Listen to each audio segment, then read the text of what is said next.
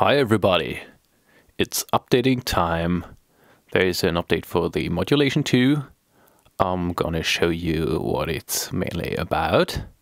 Um, and this is about the flanger and the chorus section um, that caused some uh, audio glitches, click, grainy sound like. I'm gonna show you how it's uh, going. So um, in something like regular settings, um, it could sound like this.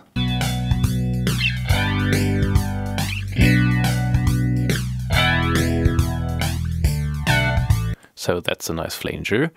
Um, but if I go to more extreme settings, turn up the uh, depth um, control, you can hear uh, some of these clicks already. And um, when turning up the rate, the clicks will get more and more.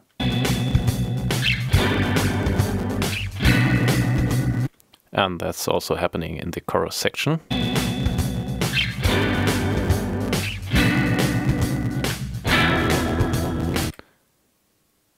And this is of course not intended.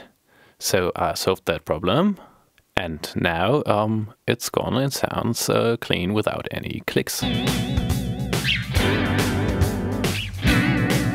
And of course the flanger um, is now without any clicks too.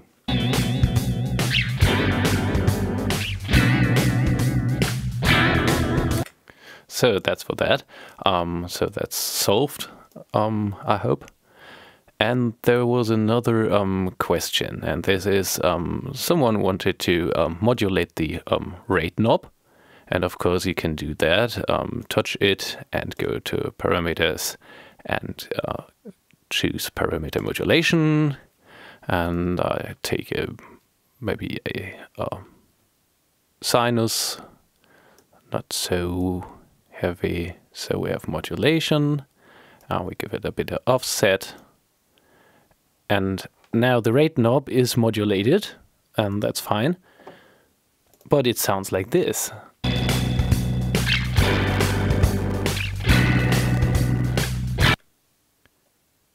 And this doesn't really sound like a flanger.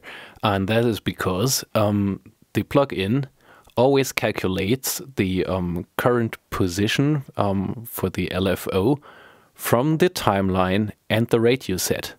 So um, it will calculate almost random positions if you modulate that knob. So you have to lose the um, ability of um, repeatability of what you're doing if you want to modulate that knob. But now from the menu, you can choose free run LFO. So it's not uh, linked to the timeline, it's just a free running LFO. And then you can modulate the rate knob.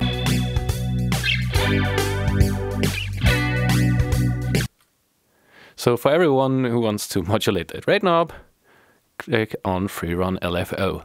Or if you simply don't want that to be uh, linked to the timeline as such. And there was another thing, um, and that was if you choose um, tempo uh, synchronized modulation, um, you can't get rid of that again. That's not intended. I wanted it to be like this. You touch the rate knob and you can choose the rate or you can click here and have it uh, tempo synced and then you can go back to a free rate by just clicking here. That was a bug, um, but that is solved too. So now let's get to another plugin that has an update, and this is uh, SumThing.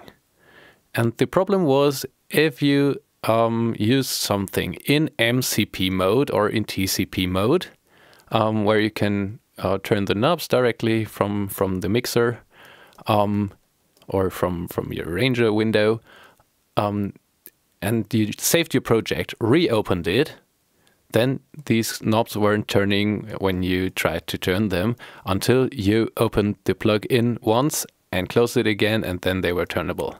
And that is now also fixed. So you can update uh, the modulation pack and the SumThing pack. That's it for today I hope you have fun with the plugins and bye bye.